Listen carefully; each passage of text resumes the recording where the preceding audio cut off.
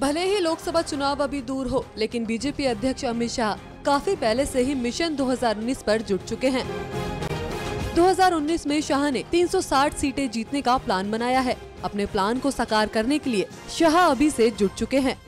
आज से अमित शाह तीन दिन के झारखंड दौरे पर हैं। इस दौरान वो संगठन को मज़बूत करने और लोकसभा और विधानसभा में जीत सुनिश्चित करने के लिए रणनीति बनाएँगे।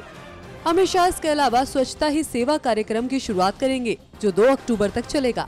शाम चार बजे रिम्स ऑडिटोरियम में दीनदयाल उपाध्याय संपूर्ण वांग्मय लोकार्पण और प्रबुद्ध जनों के सम्मेलन में भाग लेंगे।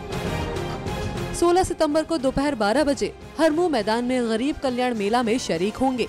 अमित शाह बीजेपी कार्यालय में पार्टी पदाधिकारियों की बैठक लेंगे। इसके साथ साथ वो मंत्रियों सांसदों, विधायकों और प्रदेश व मोर्चे के पदाधिकारियों के साथ अलग अलग बैठक भी करेंगे। झारखंड में लोकसभा की 14 और विधानसभा की 60 प्लस सीटों को जीतने की रणनीति बनाएँगे। बातचीत के दौरान जहाँ जहाँ सरकार के कामकाज की जानकारी लेंगे वहीं वहीं सरकार व संगठन के बीच बेहतर तालमेल के रास्ते भी ढूंढेंगे।